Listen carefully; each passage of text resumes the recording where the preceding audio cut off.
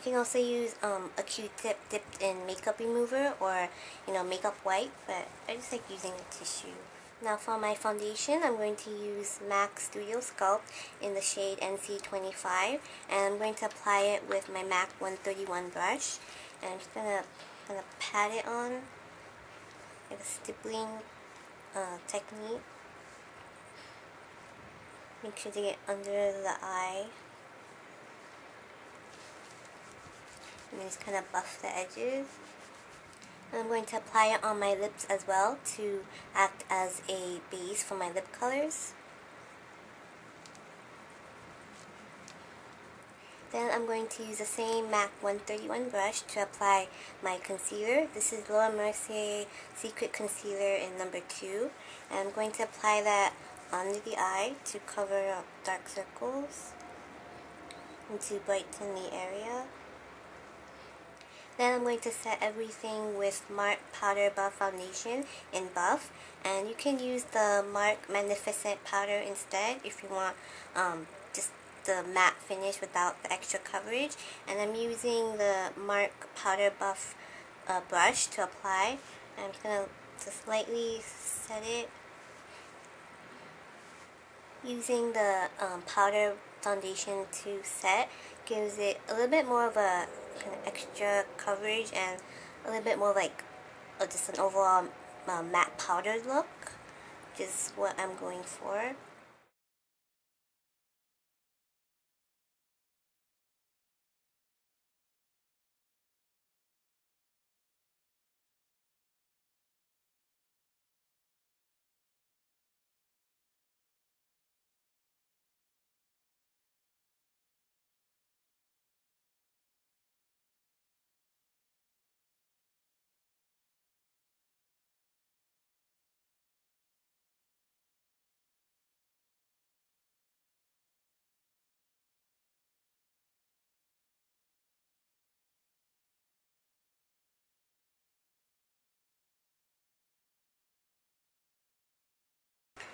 Next, I'm going to highlight the inner corner with Lime Crime Magic Dust in Nymph.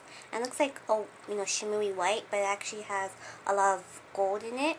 And I'm going to use um, a MAC brush number 224. It's just a fluffy crease blending brush. And I'm just going to dot that right at the inner corner. It's kind of like a warm gold color. So the last thing I need to do for the eyes is fill in my brows.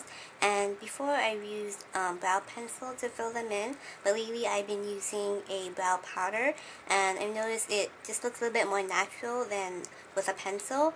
Um, and so lately I've actually been using this sample that I got from Sephora.com when I you know made an order and you can uh, pick your free samples. And this brow powder is by Anastasia. It's the brow powder duo and it comes with two uh, different colors. One is for brunettes, which is what I'll be using, and the other one is for blondes, so it's a little bit lighter.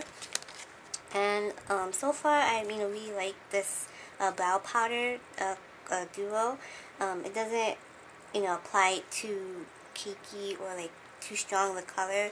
Um, it's not too powdery either, so it doesn't get you know, all over, um, and it lasts, you know, pretty long on the eyebrows, so, um, but before I apply the color, I like to apply a kind of brow wax to hold the brows in place, and to help, um, the brow powder to stick on a little bit better. So today I'm using a MAC brow finisher. Um, it's like a wax in just like this pencil form and basically I just kind of lightly glide it on the brow to kind of let the, um, to set the brow uh, hair in place. And I like to do this before I put the powder um, because if I put after it might remove some of the color. And for the brow color, I'm going to use Shu Uemura 6OB brush, which is an angled eyebrow brush. And I'm going to use the darker color of the two brow colors. Um, it's like a kind of dark charcoal brown. Um, the lighter one is more like a taupe brown, and it's good for um, if maybe you want your brows to be a little bit lighter, like say your eye makeup is more on the heavy, darker side, and you want to kind of lighten your brows. And I'm just going to, just like how I use a pencil, I first kind of outline the shape of the brow, I kind of define it. So I got the tail of the brow, and then underneath, just make these kind of short lines just like that and then I blend the, the line and kind of soften it by um, flicking the brush upwards to kind of fill in empty spaces.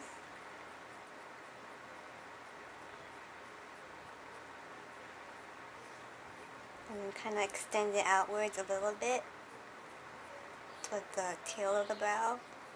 Now that my eye makeup is done, I'm going to do the cheeks and I'm first going to contour using MAC Definitive Sculpting Powder. It's a dark um, warm brown color and I'm going to use a Mark Angled Contour Face Brush to, uh, to apply and I'm just going to apply it um, near the hairline. I'm not going to you know, pull it all the way into the cheeks because I want a little bit more of a subtle contouring so I'm just going to kind of blend it back and forth under the cheekbone.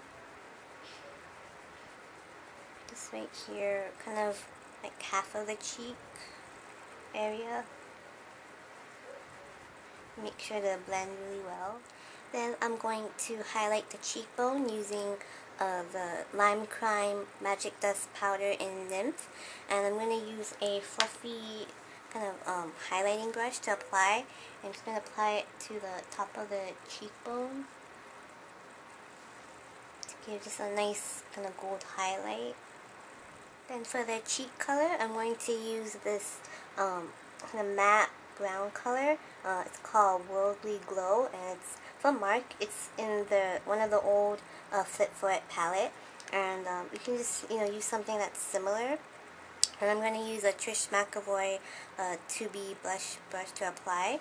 And just on the apples of the cheek, just a very um, light amount of color. I don't want it too strong since the eye makeup is um, quite heavy and dark. And it has a little bit of a like reddish tone to the um, blush color.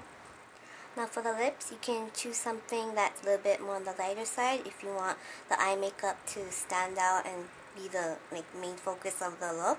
But I want the lips to be kind of bold and have a like a darker, deeper color um, since you know it's fall, winter, and just something a little bit more dramatic. So I'm first going to uh, outline and fill in the lips using MAC Mahogany Lip Pencil, and it's a kind of brownish red color.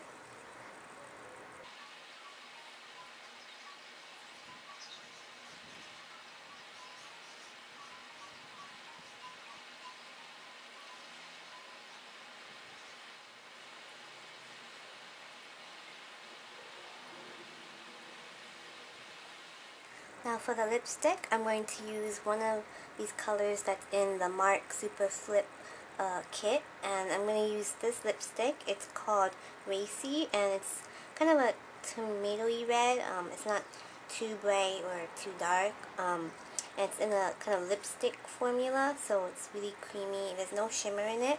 And I'm just using a uh, Kevyn Aucoin lip brush. You can use, you know, any lip brush that you like. And I'm just going to apply it all over the lips.